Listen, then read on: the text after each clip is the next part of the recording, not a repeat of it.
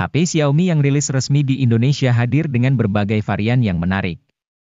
Ada yang harga terjangkau, kelas menengah, ada juga yang kelas atas. Yang menarik, kiprah Xiaomi di Indonesia kian berwarna dengan kehadiran sub-brand Poco dan hadirnya HP khusus game, Black Shark. Bersama Xiaomi Series dan Redmi Series. Sekarang mari simak daftar HP Xiaomi yang resmi hadir di Indonesia berikut ini. Daftar HP Xiaomi ini sangat disarankan dibeli karena punya jaminan garansi resmi Xiaomi Indonesia dan terbebas dari blokir IMEI. Langsung cek saja daftarnya pada video berikut ini.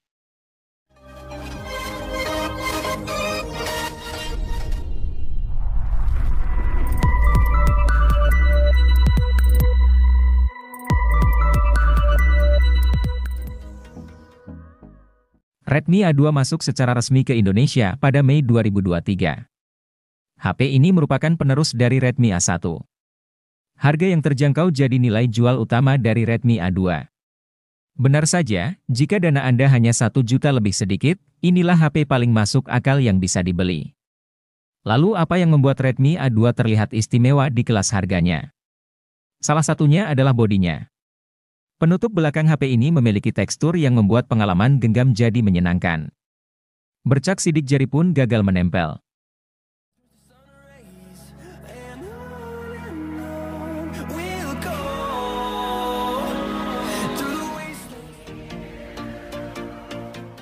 Selain Redmi 10 dan Redmi 10C, kini tersedia pula Redmi 10A yang dibanderol dengan harga rilis jauh lebih murah yaitu hanya 1 jutaan.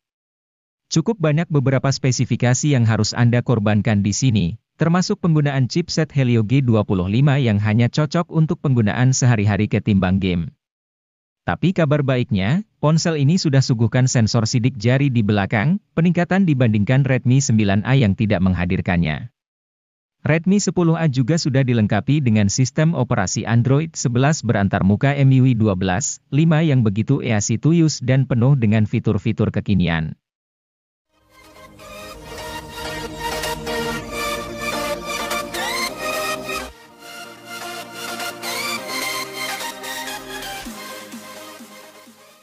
Redmi kembali hadir ke pasar Indonesia pada Maret 2023 dengan produk barunya yaitu Redmi 12C. Sebelumnya, HP ini sempat diluncurkan terlebih dahulu di pasar Cina pada Desember 2022. Sebagai penerus dari Redmi 10C, Redmi 12C masih berada di kelas yang sama yaitu kelas HP entry level. Harga yang dimilikinya juga tidak jauh berbeda yaitu masih berada di angka 1 jutaan saja. Meski begitu, kemampuan serta spesifikasi yang dimilikinya cukup menarik. Salah satunya adalah kapasitas penyimpanannya yang mengalami peningkatan. Kali ini, Redmi 12C menawarkan varian yang lebih tinggi dengan RAM 4GB dan internal 128GB.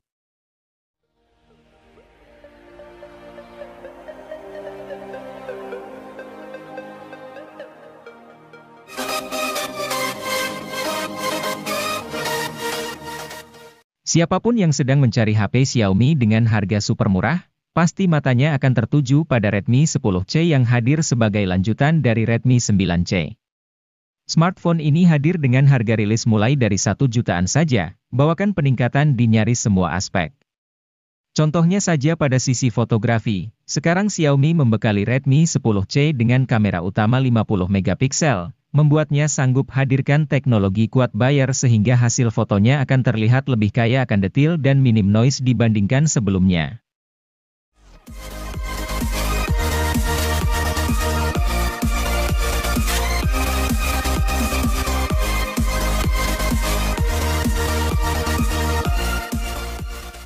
Kenyamanan dalam penggunaan sebuah HP menjadi hal penting yang harus dimiliki.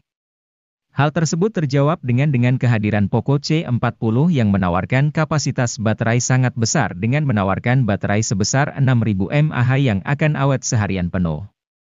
HP dengan kapasitas baterai yang besar sangat dibutuhkan akhir-akhir ini agar bisa menunjang setiap aktivitas yang semakin banyak setiap harinya. Dengan baterai super besar yang dimiliki oleh Poco C40 ini diklaim mampu bertahan hingga 32 jam pada aktivitas panggilan telepon, 86 jam untuk mendengarkan musik, 20 jam pemutaran video playback, dan 17 jam navigasi.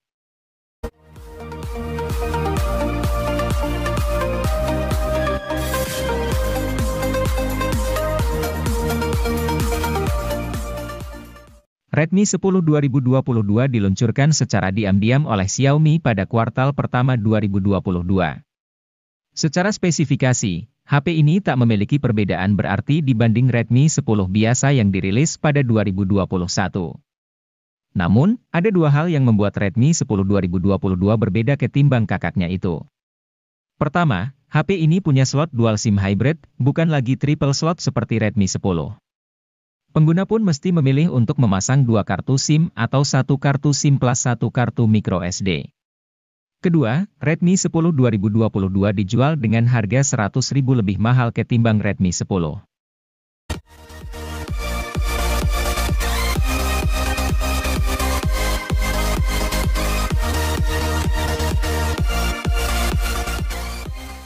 Meski sebelumnya merupakan subseries dari brand Xiaomi, kini Poco sudah menjadi brand independen. Salah satu produk terbarunya merupakan Poco M5 yang berada di rentang harga 2 juta. Keunggulan utama dari ponsel ini adalah chipset Helio G99 yang bertenaga dan hemat daya berkat fabrikasi 6 nanometer. Kemudian, Poco M5 juga dikemas dengan fitur fotografi yang layak lantaran hadirkan kamera utama 50 megapiksel. Ini merupakan resolusi kamera yang mulai cukup banyak dimiliki HP 2 jutaan.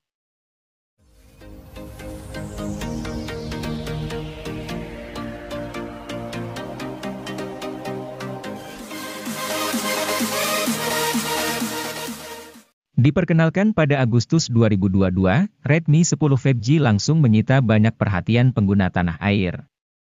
Pasalnya, Ponsel ini hadir sebagai ponsel Android harga terjangkau dengan chipset MediaTek Dimensity 700 dan fitur jaringan 5G. Hadirnya chipset ini diharapkan membuat performa ini lebih kencang dan stabil koneksi 5G-nya. Performa HP ini kian mantap karena Redmi menghadirkan RAM 4 dan 6 GB. Tentu ketika digunakan bermain game dengan grafis tinggi, HP tidak mengalami lag. Semua game dapat berjalan lancar dengan suhu mesin yang tidak terlalu panas.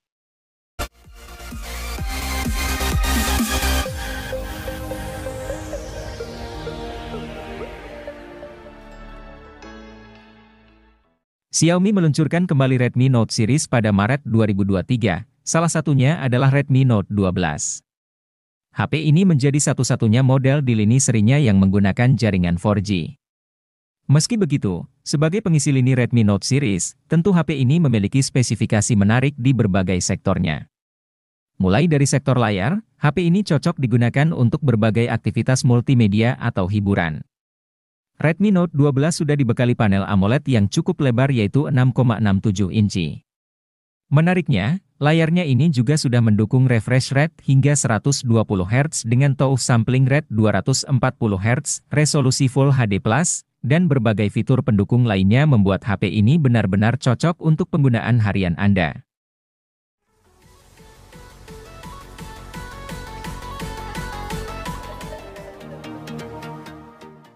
Poco M5s merupakan varian alternatif dari Poco M5, hadir dengan spesifikasi yang lebih seimbang untuk segala keperluan.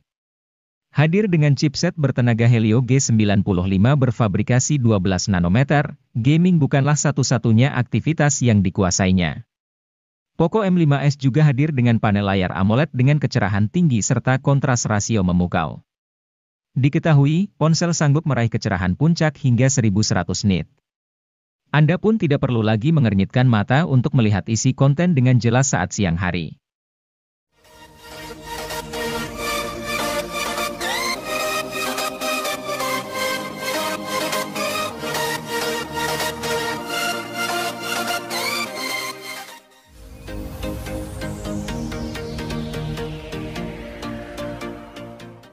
Redmi Note 11 menjadi basic di antara dua seri lainnya yang diluncurkan. Ponsel ini memiliki layar AMOLED berukuran 6,43 inci dengan resolusi Full HD dan mendukung refresh rate mencapai 90 Hz. Untuk baterai, Redmi Note 11 memiliki kapasitor cukup besar yaitu 5000 mAh didukung dengan pengisian cepat 33 Watt. Di bagian tengah atas layar ponsel ini terdapat punch hole sebagai tempat untuk kamera depan dengan kamera 13 megapiksel. Sementara itu, di bagian belakang terdapat empat kamera yaitu kamera utama 50 megapiksel, kamera ultrawide 8 megapiksel, dan kamera makro dan depth sensor masing-masing 2 megapiksel.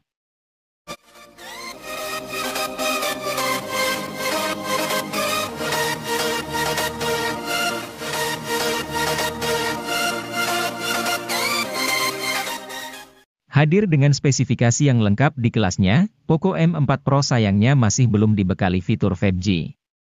Walaupun demikian, layarnya yang sudah AMOLED, kemampuan dapur pacu yang handal untuk gaming hingga kamera utama yang berkualitas seakan menutupi kekurangan tidak adanya 5G di HP ini. Sama seperti HP Poco kebanyakan, desain Poco M4 Pro minimalis, ringan dan nyaman digenggam. Pilihan warna bodinya juga cukup apik cocok untuk kawula muda saat ini. Selain itu, bodinya kian kokoh karena sudah dilengkapi sertifikasi IP53 yang membuatnya tahan cipratan air.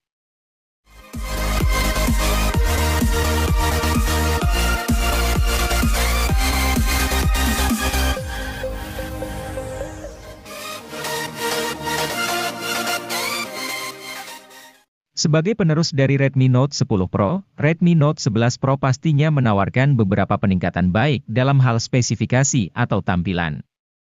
Desain atau tampilan pada ponsel ini sangat menarik dan elegan dengan tema flat atau datar di seluruh bagian bingkai ponsel. Tata letak kamera belakang juga dibuat lebih memanjang ke bawah berbeda dengan pendahulunya. Bagian layar dari ponsel ini menggunakan panel Super AMOLED yang berukuran 6,67 inci dan dilindungi oleh kaca pelindung Corning Gorilla Glass 5. Redmi Note 11 Pro juga telah mendukung resolusi Full HD, dengan refresh rate mencapai 120 Hz sehingga kenyamanan pengguna menjadi terjamin.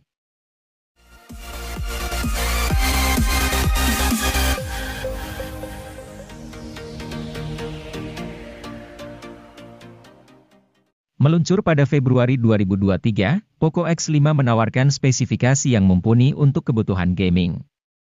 Ponsel dibekali dengan dapur pacu kencang Snapdragon 695 5G yang dibangun atas fabrikasi 6 nanometer. Bisa dipakai bermain game berat dengan nyaman, seperti PUBG Mobile dan Genshin Impact. Layar yang digunakan HP ini juga terbilang jempolan di kelas mid-range, menawarkan panel AMOLED berukuran 6,67 inci yang mengusung refresh rate 120 Hz. Reproduksi warna pada layar tersebut sangat vibran dan cerah, menyuguhkan gamut DCI P3 100% dengan kecerahan puncak mencapai 1200 nit.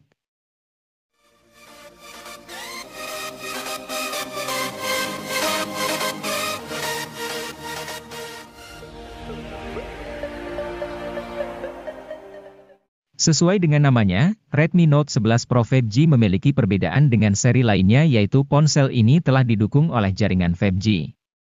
Selain itu, Redmi Note 11 Pro ini terbilang mampu bersaing karena didukung dengan chipset SoC Qualcomm Snapdragon 695 5G octa-core yang dipadukan dengan RAM 8GB dan penyimpanan internal mencapai 128GB. Untuk lebih membuat nyaman para pengguna, ponsel ini juga menawarkan kapasitas baterai yang besar yaitu mencapai 5000 mAh didukung dengan fitur fast charging 67 watt.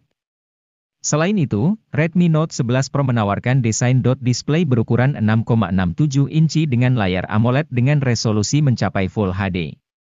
Dijamin nyaman di mata ketika menatapnya.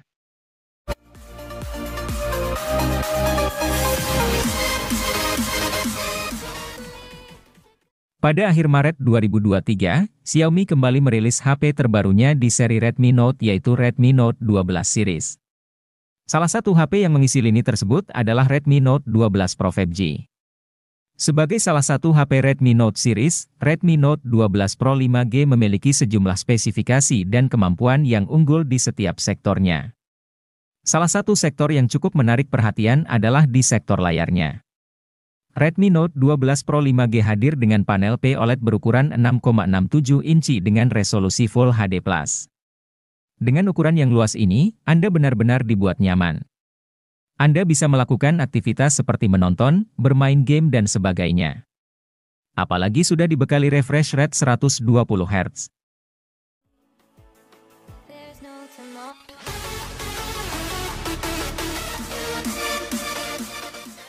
Poco F4 bukan lagi menyandang gelar sebagai flagship killer. Namun, ia adalah HP pembunuh dari ponsel flagship killer.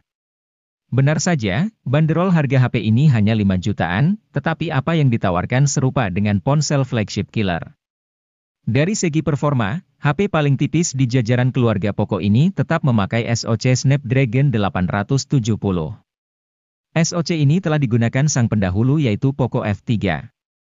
Tidak masalah, mengingat Snapdragon 870 adalah salah satu SoC dengan performa paling stabil untuk memainkan game berat macam Genshin Impact.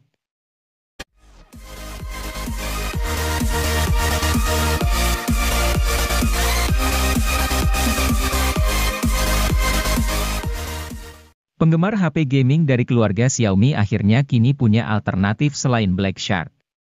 Alternatif itu adalah Poco F4 GT. HP ini merupakan ponsel pertama Poco yang ditujukan khusus untuk segmen gaming.